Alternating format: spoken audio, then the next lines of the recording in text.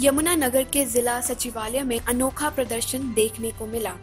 सैकड़ों युवाओं ने पूरे शहर से एक आरक्षण मुक्त भारत के मुद्दे को लेकर एक रैली निकाली और भारत से आरक्षण को मुक्त करने की मांग को लेकर जिला प्रशासन के माध्यम से प्रधानमंत्री के नाम एक ज्ञापन भेजा। जहाँ एक तरफ़ प्रदेश में आरक्षण को लेकर राजनीतिक बयानबाजी हो रही है और उसे मुद्दा बनाकर राजनीतिक रोटियाँ सेकी जा रही हैं, वहीं ऐसे में आज सैकड़ों युवाओं ने आरक्षण को खत्म करने की बात करते हुए एक विशाल रैली निकाली और नारेबाजी करते हुए यही संदेश दिया कि आरक्षण के नाम पर केवल राजनीति हो रही है। इसे केवल 10 साल के लिए लागू किया गया था लेकिन राजनीतिक लोगों ने आज तक इसे लागू कर रखा है। इसीलिए अब भारत को आरक्षण मुक्त कर देना चाहिए। हम किसी के खिलाफ नहीं है। आरक्षण खत्म होने से समाज में समरसता आएगी, क्योंकि लोगों ने आरक्षण का केवल मिसयूज किया है। जो ये मुहिम है, ये किसी भी जाति के, किसी भी गरीब आदमी के खिलाफ नहीं है।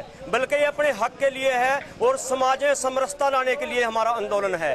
क्योंकि गरीबों को भी इससे कोई लाभ आज तक सत्तर वर्ष में नहीं हुआ। उनके भी जो क्रिमी ले रहे हैं, चाहे एस सी एस है आई पी एस है आई एस हैं, या उनके मंत्री एम एल ए हैं, या जो भी बड़े लोग बैठे हैं, क्योंकि उनके बच्चे स्कूल में, कन्वेंट स्कूलों में पढ़ते हैं, उनकी अच्छी शिक्षा होती है, कंपटीशन में वही लोग इन गरीब आदमियों का उसमें कोई भला होने वाला नहीं है। तो ये जो समाज में द्वेष इस आरक्षण के कारण बढ़ता जा रहा है। बाबा साहब भीमराव अंबेडकर ने इसको उस समय 10 साल के लिए लागू किया था। उस समय इसकी ज़रूरत थी। सत्तर वर्ष की आज़ादी के बाद यदि पिछली सरकार या अगली सरकार कोई भी जातिगत आरक्षण इसको लागू कर रही है, उसके लिए शर्म की बात है।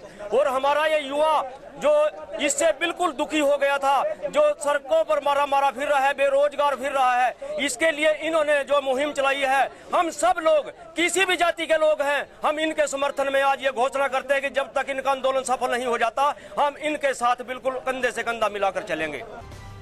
नेशनल बस के लिए सुमित उबरॉय की रिपोर्ट।